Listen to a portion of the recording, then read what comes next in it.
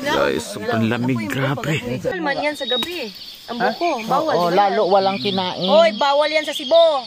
May maasid yang. Hindi, wag. Inom na kayo doon. Ho. Minom ka nga. Nakainom na nga kami. Uminom ka. Uminom ka Bawal, ngayon. bawal nga ana. Si- sige, isang libo, uminom ka. Inom ka. Ikaw nagpa-challenge. Hey, what's up mga katribo? Dumating na nga ang araw na itinakda dahil ngayon ang araw ng pag-akit namin sa bundok. Pero bago yan, kasama nga si Idol ay naghanap muna kami ng mga katutubo o tribong mangyan na makakabenepisyo nitong aming gagawing challenge. At sa amin ngang pag-iikot-ikot ay napadpad kami dito sa isang sityo kung saan nga ay pure na mga katutubo na kung tawagin ay tribong bangon ang mga naninirahan dito.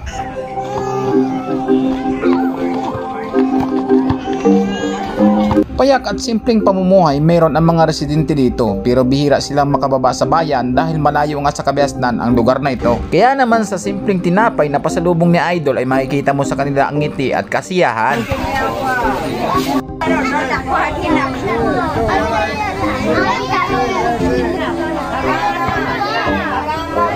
Hindi pa man nag-uumpisa ang challenge ay malaking galak na sa aming mga puso ang sila'y makitang nakangiti at masaya.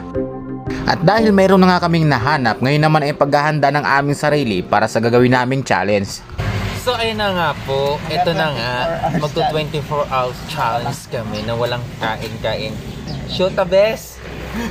Nakita ko yung isda, paksiw, paborito ko. ito na oh, tapos may sili pang namumula-mula.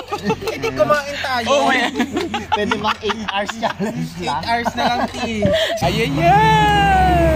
At ito na nga mga katribo, dumating na ang araw na itinakda kaya naman mas sinigurado naming may laman ang aming tiyan dahil malayo-layo din yung aming lalakbayin. Kaya naman bago umalis ay humingi muna kami ng patnubay at gabay sa ating amang may likha. Gabayan po kami sa aming gagawin at bigyan ng pagpapala at lakas at tibay. Gabayan po kami sa pang-araw-araw at ingatan ang aming pamilya sa kanilang mga bahay. Maraming po salamat. At bago pa nga uminit at tumindi ang sikat ng araw ay tumulak na kami sa aming pupuntahan para maaga rin kaming makarating. Dumaan na rin nga pala kami ng barangay para makapagpaalam at makapaglagmok dito. At galing na rin kami ng munisipyo para humingi ng authorization kay Mayor. At pagkatapos nga dito ay muli kami naglakbay dahil malayo-layo pa rin yung aming tatahakin.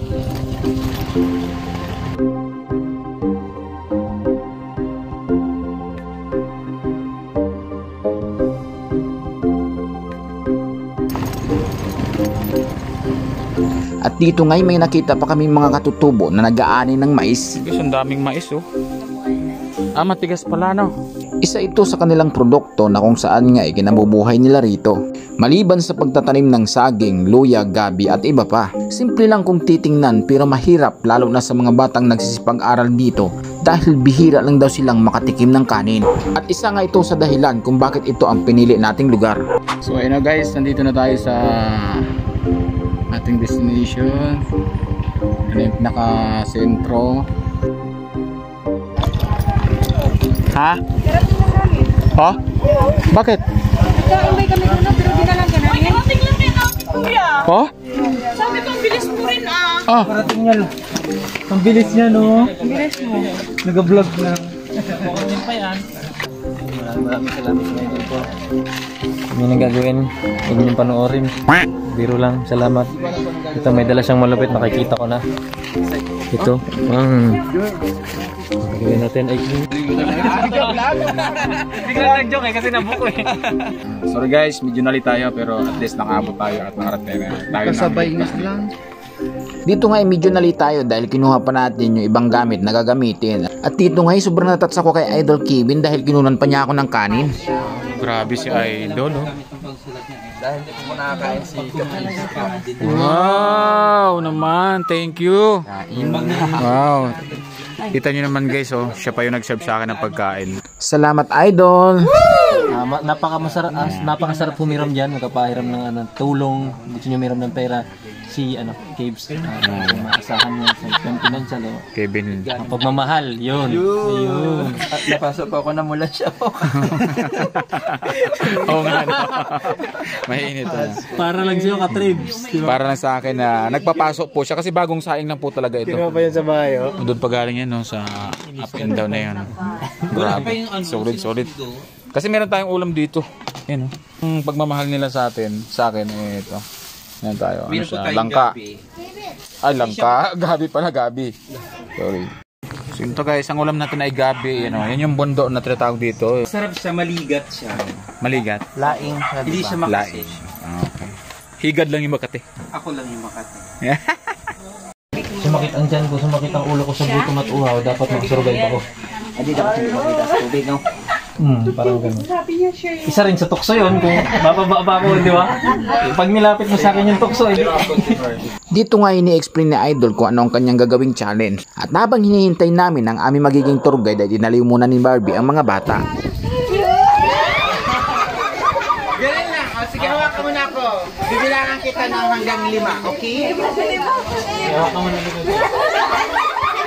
Mabilis naman lima. Dahan-dahan lang. Dahan lang.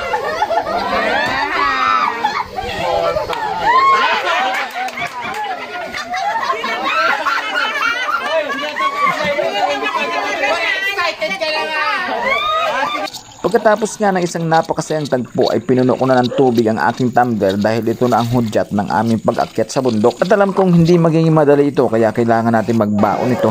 So guys, palis na kami. Saan tayo dadaan kuya? Dito po, sir. Dito. Dito na tayo dadaan. Yan, sila kuya yung mag-guide sa atin papunta sa bundok.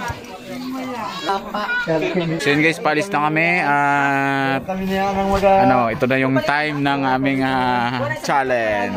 Yan, kasama natin Chris Los Channel. Shout out. Maganda tayong galon. At bago nga kami umalis ay humirit pa si Barbie. Wala bang hi yawan